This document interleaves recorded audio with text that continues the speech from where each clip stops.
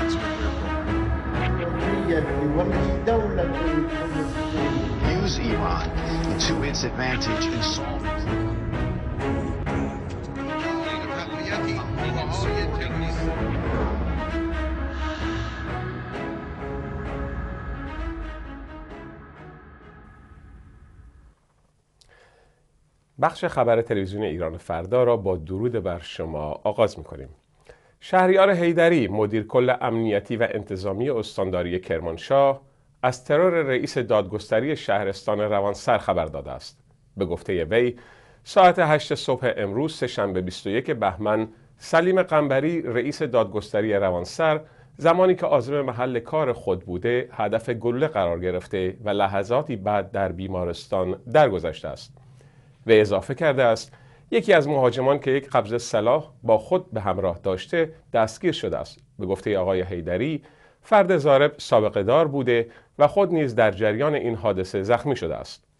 بنابر گزارش ها سلیم قنبری فعالیت خود را در دادگستری شهرستان روانسر هفت سال پیش آغاز کرده بود. حسن روحانی رئیس جمهور ایران می‌گوید که ایران گام های لازم را در مذاکرات هسته‌ای با قدرت‌های جهانی برداشته و اکنون نوبت طرف مقابل است که فرصت را مختنم بشمارد. آقای روحانی امروز سهشنبه در دیدار با مشاور عالی امنیت ملی هندوستان در تهران گفت در این مذاکرات پیشرفت‌های خوبی حاصل شده هرچند با توافق نهایی فاصله داریم. رئیس جمهور ایران در حالی از برداشتن گام های لازم از طرف ایران سخن گفته که روز گذشته بارک اوباما رئیس جمهوری آمریکا گفت که کشورهای پنج به علاوه یک توافقی را پیشنهاد کرده اند که ایران باید درباره آن تصمیم بگیرد. با ادامه گرد و غبار شدید در برخی از مناطق ایران مدارس و ادارات تعطیل و تعدادی از پروازها لغو شده است.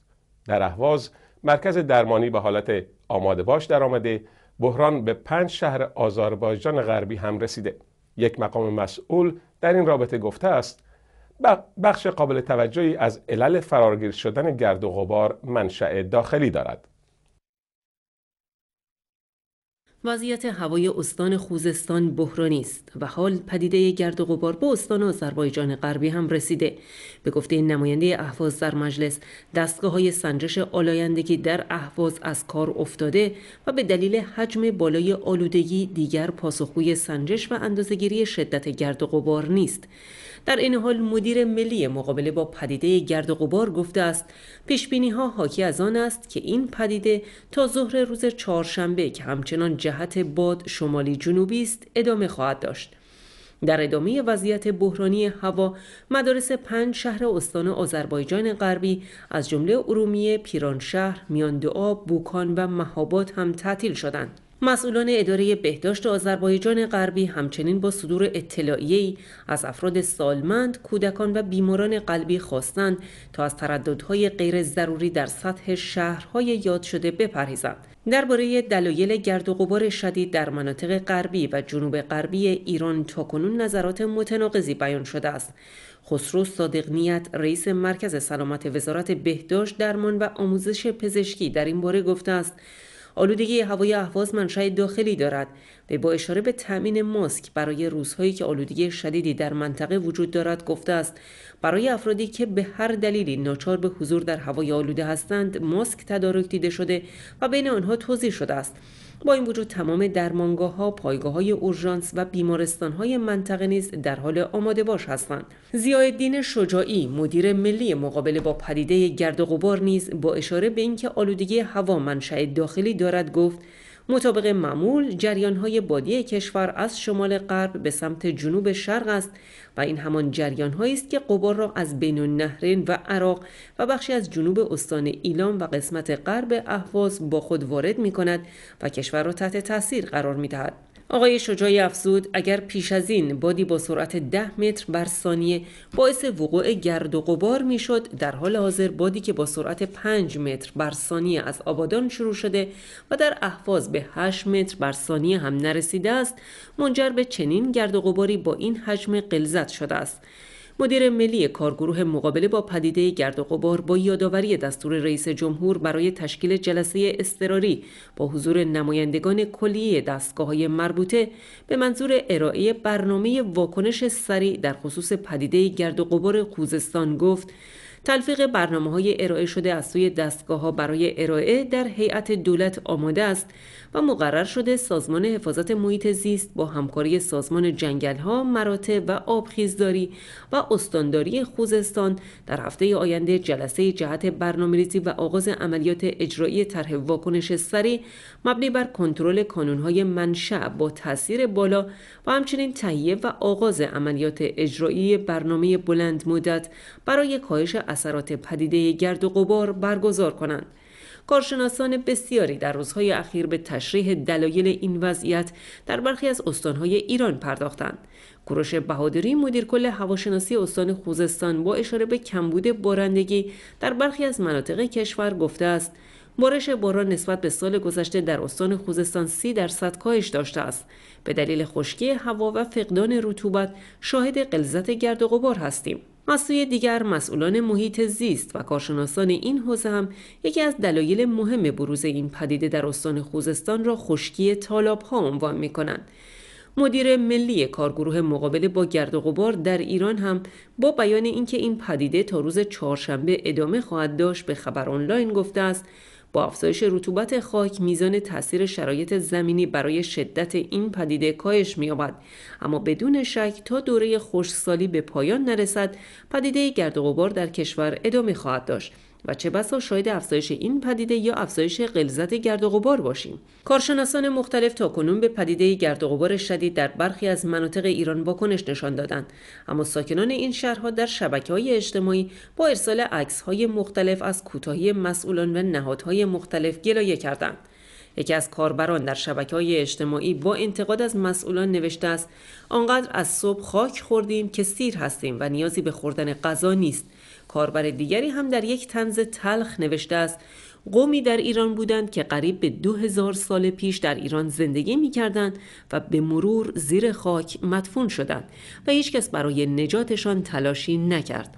کاربر دیگری هم با انتقاد از تعطیلی تنها برخی از مقاطع تحصیلی و ادارات نوشته است ارزشی برای جان کارگران در بنادر خوزستان قائل نیستند.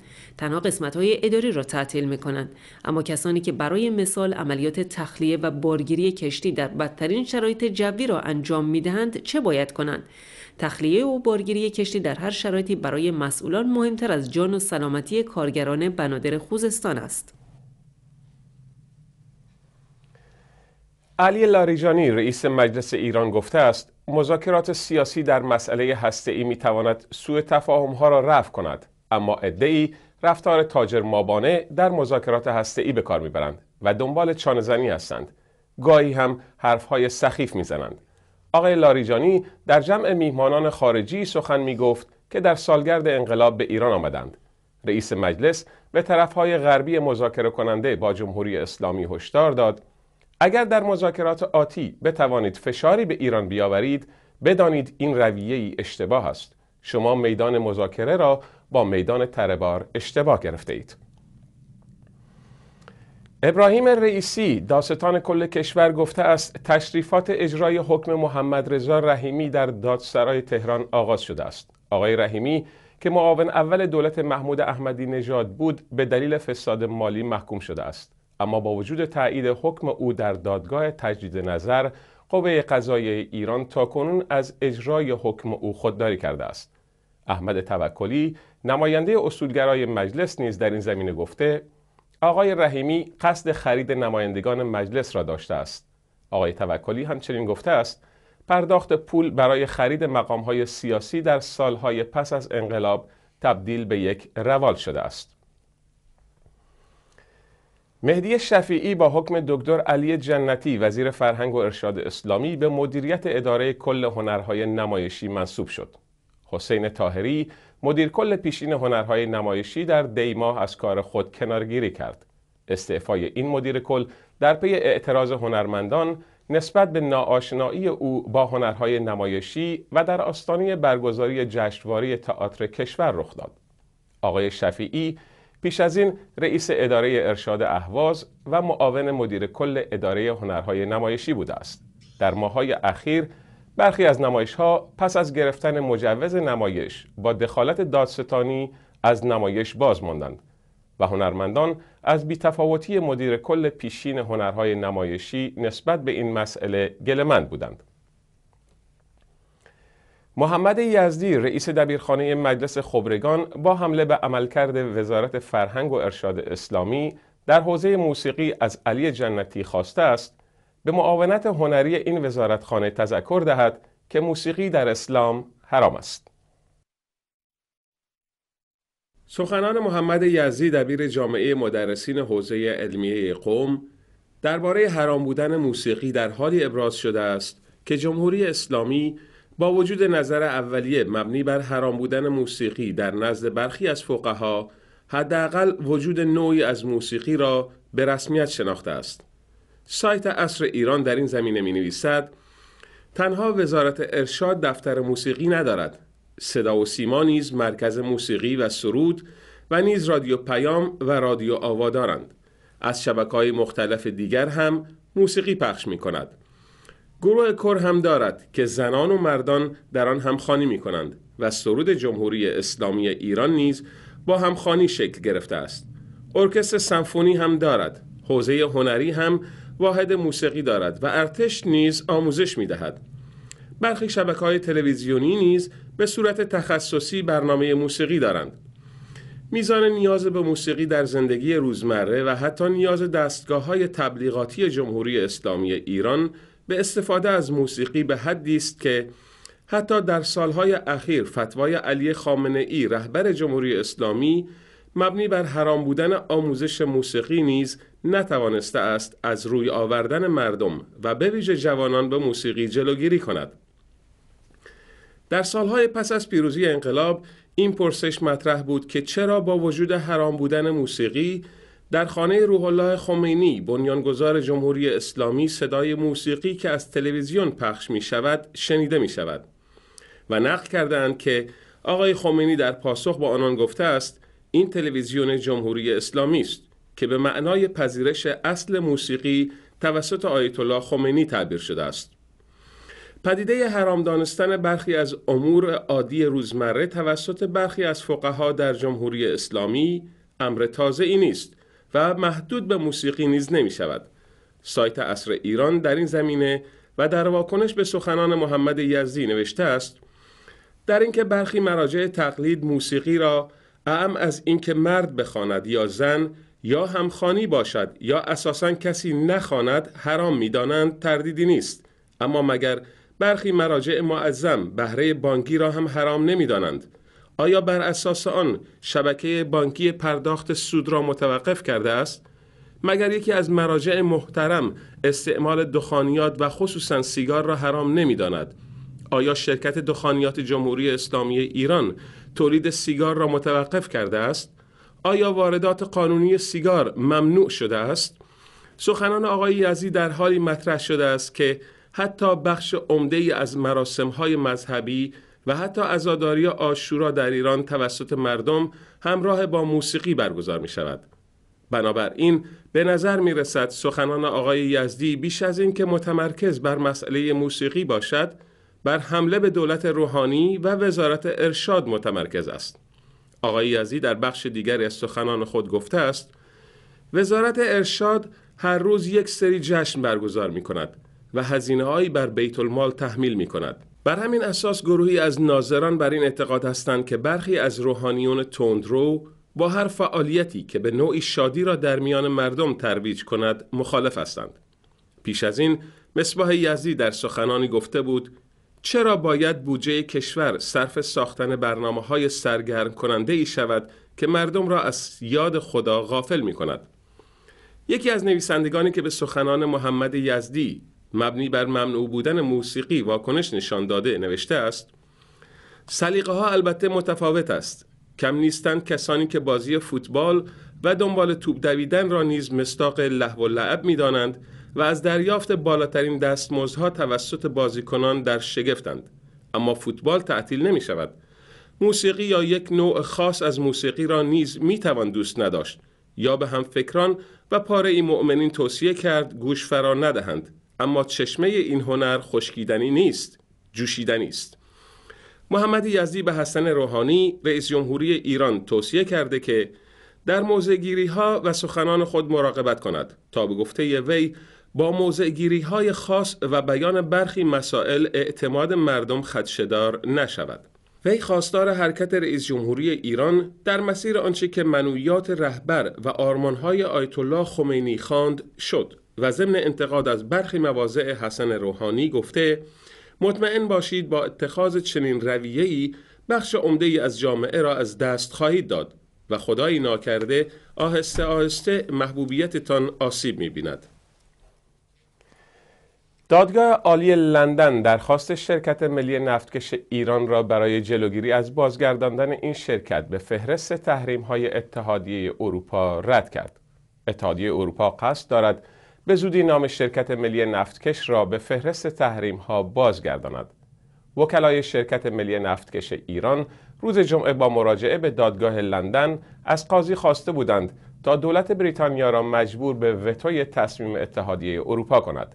بنابراین گزارش قاضی دادگاه از پذیرش درخواست ایران خودداری کرده و بدون صدور حکمی گفته است مجبور کردن دولت بریتانیا به وتوی رأی اتحادیه اروپا می تواند در شرایطی مطلقا استثنایی انجام شود و صدور چنین حکمی باعث مشکلات بسیار برای سیاستی خواهد شد که تحریم ها را ضروری می داند.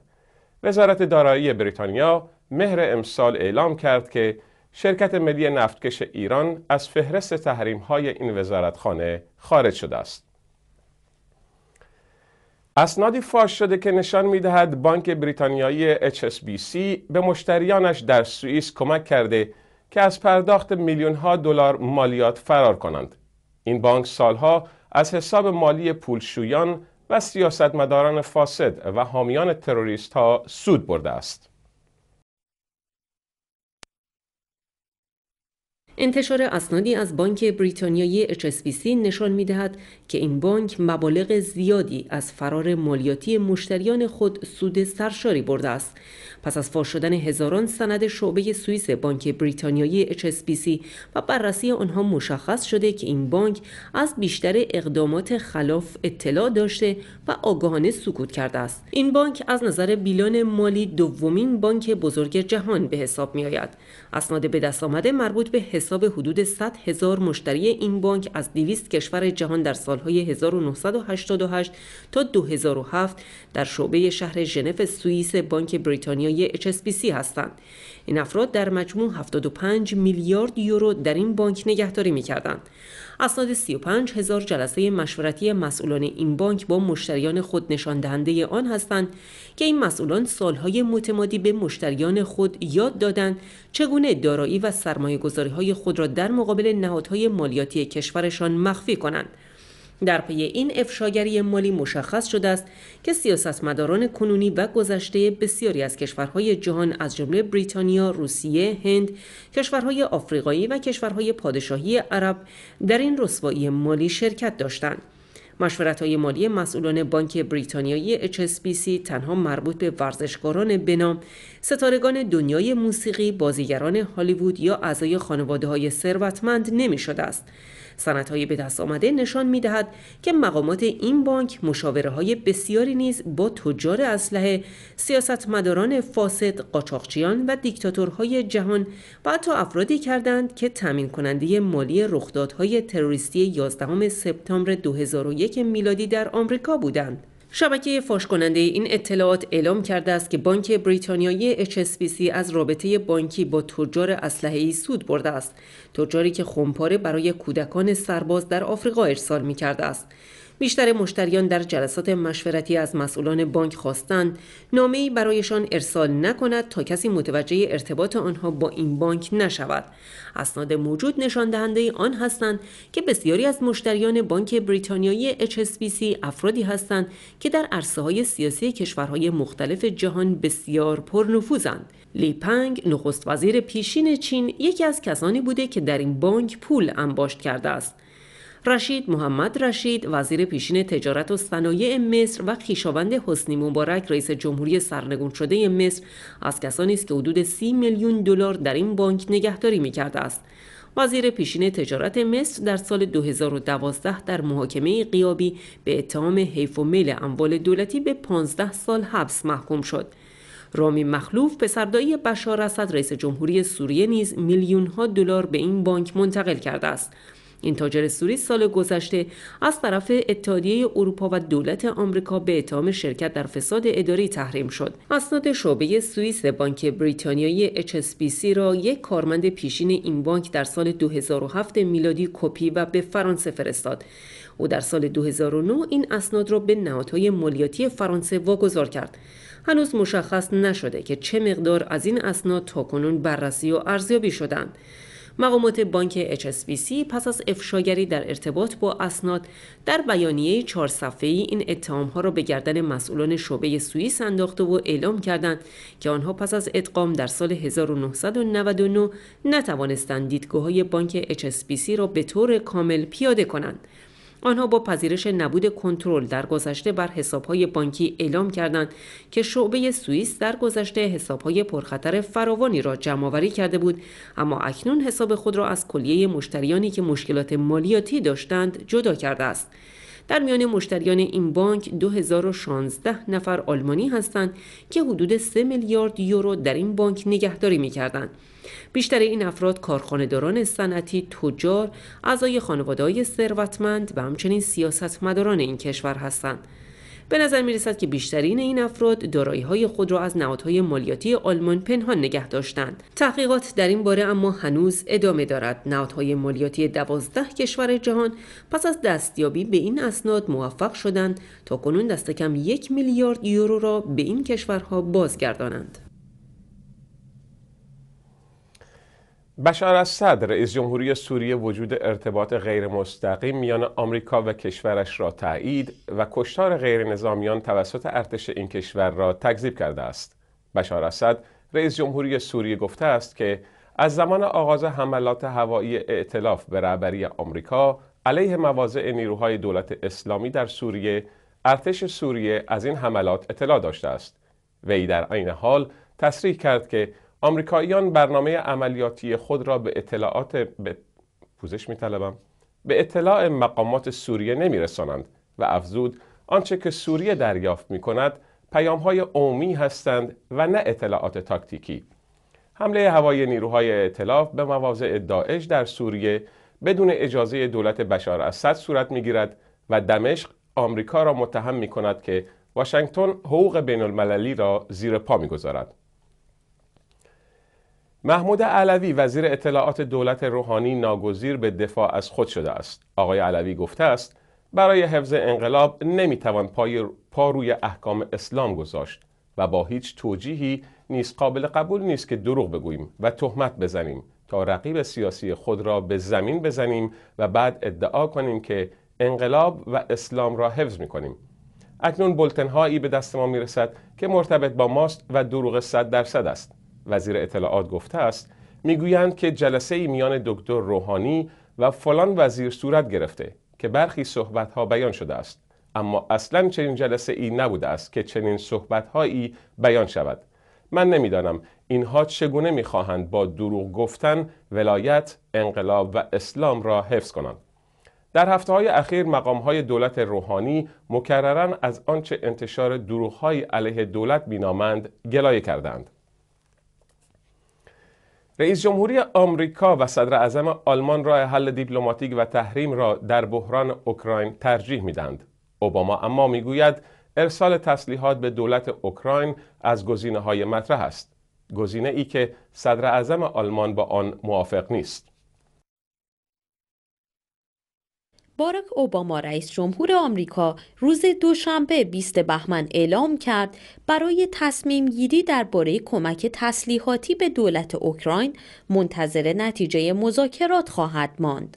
او اعلام کرد دیپلماسی و وضع تحریم را همچنان گزینه های بهتری برای حل بحران در شرق اوکراین می داند. در ادامه های دیپلماتیک برای پایان دادن به کشمکش اوکراین قرار است که صدر اعظم آلمان و رؤسای جمهور فرانسه، روسیه و اوکراین چهارشنبه در مینسک با هم مذاکره کنند. باراک اوباما که پس از ملاقات با آنگلا مرکل صدر اعظم آلمان در نشست خبری مشترک در کاخ سفید سخن می گفت گفت او و خانم مرکل توافق کردند که در حال حاضر تحریم های موجود باقی بمانند و در صورتی که مسکو به روش کنونی ادامه دهد منزوی تر شود. اوباما با این همه تاکید کرد گزینه ارسال اسلحه به اوکراین یکی از گزینه است که او و مشاورانش در حال بررسی آن هستند. به گزارش خبرگزاری رویترز باراک اوباما گفت از تیمم خواستم در صورت شکست دیپلماسی همه گزینه ها را در نظر بگیرند اما هنوز تصمیمی نگرفتم. به رغم اصرار خبرنگاران باراک اوباما از مشخص کردن اینکه کدام خط قرمز باید از سوی روسیه زیر پا گذاشته شود تا آمریکا به گزینه نظامی روی آورد پرهیز کرد. در پی حملات جدید از سوی جدایی طلبان در شرق اوکراین برخی از مشاوران اوباما و همچنین نمایندگان کنگره که اکثر آنها را جمهوری خواهان تشکیل می دهند به اوباما فشار می آورند که به دولت اوکراین کمک نظامی برساند. برخی از مشاوران ارشد اوباما از جمله اشتون کارتر از ارسال تسلیحاتی نظیر سلاح‌های ضد تانک و سلاح‌های کوچک و مهمات به اوکراین حمایت می کنند. کنگره آمریکا در ماه دسامبر 2014 قانونی را به تصویب رساند که مجوز ارسال تسلیحات به کیف را صادر می کرد. اوباما اگرچه با امضای این قانون آن را پذیرفت اما این اختیار را دارد که درباره زمان و ضرورت اجرای آن تصمیم بگیرد. روز یک شنبه 19 بهمن نه تن از نیروهای ارتش اوکراین و هفت تن غیر نظامی در درگیری های شدید اطراف شهر دبالسو در شمال شرق دونسک کشته شدند. از آغاز درگیری ها در آوریل 2014 در شرق اوکراین تا کنون 5000 نفر کشته شدند. روز گذشته آنگلا مرکل صدر اعظم آلمان در نشست خبری مشترک با باراک اوباما در کاخ سفید مخالفت آلمان را با ارسال اسلحه به کیف اعلام کرد. مرکل و فرانسو اولاند رئیس جمهور فرانسه قرار است روز چهارشنبه با ولادیمیر پوتین رئیس جمهور روسیه و پترو پروشنکو رئیس جمهور اوکراین در بلاروس مذاکرات صلح را ادامه دهند. هفته گذشته آنگلا مرکل و اولاند با پوتین در مسکو دیدار کردند و پس از آن روز یک شنبه در کنفرانسی تلفنی با پروشنکو شرکت کردند اما تا کنون موفقیتی در جریان مذاکرات برای برقراری صلح به دست نیامده است. با توجه به شکست توافق صلح پیشین آنگلا مرکل در کنفرانس خبری روز گذشته اعلام کرد که موفقیتی برای مذاکرات صلح نمی بیند. او تاکید کرد که با این همه تصمیم دارد تلاشی دیگر در جهت انجام مذاکرات صلح انجام دهد. این در حالی است که مسکو روز گذشته هشدار داد با پوتین نباید با زبان التیماتوم سخن گفت سخنگوی کرملین با اشاره به اظهارات مرکل که به پوتین درباره برگزاری نشست درباره اوکراین التیماتوم داده بود گفت هیچ کس تا کنون با لحن التیماتوم با رئیس جمهور صحبت نکرده است و حتی اگر هم بخواهد نمی‌تواند. آمریکا و اتحادیه اروپا می‌گویند روسیه توافق صلح ماه سپتامبر را با ارسال تانک و توپخانه بیشتر به خاک اوکراین نقض کرده است. با این همه وزرای خارجه اتحادیه اروپا روز دوشنبه از تنگتر کردن حلقه تحریم ها علیه روسیه خودداری کردند تا مذاکرات از شانس بیشتری برخوردار باشد. وزرای خارجه اتحادیه اروپا اگرچه ممنوعیت صدور روادید و مسدود کردن دارایی برخی چهره های جدایی طلبان اوکراین و روسیه را تصویب کردند اعلام کردند دست کم تا روز 16 فوریه 27 بهمن برای اجرایی کردن آنها دست نگه می‌دارند تا به انجام مذاکرات صلح فرصت بدهند. اعمال تحریم از سوی اتحادیه اروپا و آمریکا علیه مسکو از ماه مارس 2014 و با الحاق کریمه به خاک روسیه آغاز شد. تحریم ها در کنار کاهش شدید قیمت نفت به اقتصاد روسیه ضربه سختی وارد کرده است. رئیس فدراسیون فوتبال ایران هشدار داده است که ممکن است لیگ فوتبال ایران به دلیل مشکلات مالی تعطیل شود. علی کفاشیان در نامه به رئیس سازمان صدا و سیما خواهد خواهان پرداخت بدهی صدا و سیما برای جلوگیری از بروز بحران در فوتبال شده است. آقای کفاشیان در نامه خود گفته است که صدا و سیما حق پخش تلویزیونی مسابقات فوتبال سال 93 تا 94 را نپرداخته است. بنابر نامه رئیس فدراسیون باشگاه های فوتبال کشور به دلیل دریافت نکردن حق پخش بازی ها دچار مشکلات مالی شدند. مسئله بدهی های صدا و سیما به باشگاه های فوتبال ماهاست که مطرح است و صدا و سیما تا کنون از پاسخ دادن به آن خودداری کرده است. دولت ترکیه در نظر دارد قانون جدیدی در زمینه گردشگری وضع کند که مطابق با آن گردشگران ایرانی و روسی در ورود به این کشور نیاز به گذرنامه نداشته باشند. اتحادیه آژانس های توریستی ترکیه در صدد هست تا با دولت این کشور بر سر پیشنهادی به توافق برسه که بر اساس اون شهروندان ایرانی و روسی بدون نیاز به پاسپورت و تنها با داشتن کارت شناسایی بتونن به ترکیه سفر بکنن. همین هفته پیش بود که نخست وزیر ترکیه احمد داوودوغلو خبر داد که دولتش به آژانس های هوایی و شرکت های توریستی ایرانی و روسی کمک مالی 6000 دلاری خواهد کرد اونها بتونن راحتتر مسافرین خودشون رو به ترکیه بیارن. در واقع این کمک هم در قالب وام و هم تأمین بخشی از هزینه سوخت هواپیماهای حامل گردشگران ایرانی و روس خواهد بود. در این رابطه باشاران اولوسوی مدیر اتحادیه آژانس های توریستی ترکیه میگه امیدوار دولت ترکیه در این زمینه تصمیم بگیره و اونها بتونن شرایطی فراهم بکنن که حتی گردشگران ایرانی برای ورود به ترکیه نیاز به پاسپورت نداشته باشن.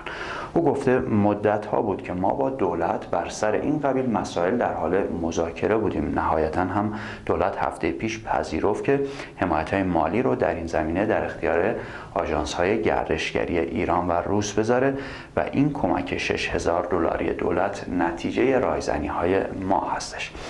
اما از آنجا که در واقع بخش عمده درآمد ترکیه از راه گردشگری هستش مسئله تحریم ها و افت ارزش ریال طی سالهای اخیر به شکل چشمگیری باعث کاهش تعداد گردشگران ایرانی شده بود. همینطور تحریم های اخیر اتحادیه اروپا بر علیه روسیه و کاهش ارزش پول این کشور باعث شده تا مقامات گردشگری ترکیه نگران کاهش گردشگران روس بشن.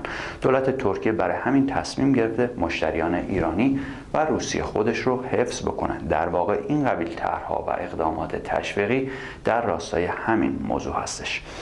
این نکته رو هم اضافه بکنم که سالانه حدود 35 میلیون گردشگر از چهار قاره جهان از ترکیه دیدن می‌کنه و در بین این تعداد گردشگر روزها رتبه دوم بازدید از ترکیه رو به خودشون اختصاص دادن و ایرانی ها هم چهارمین بازار بزرگ گردشگری برای ترکیه محسوب میشن.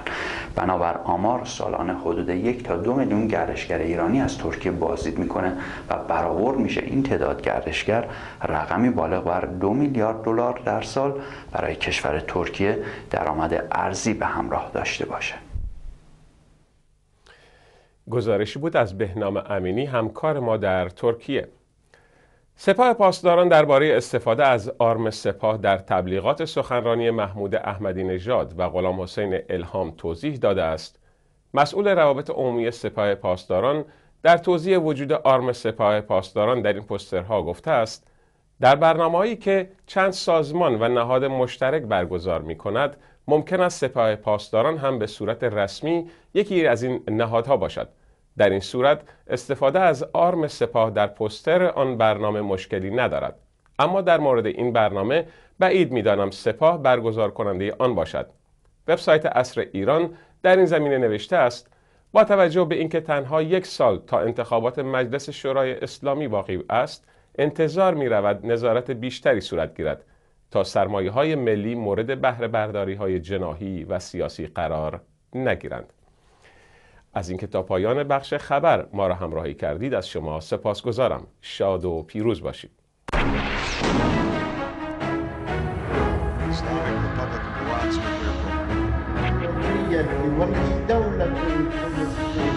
Use Iran to its advantage in solving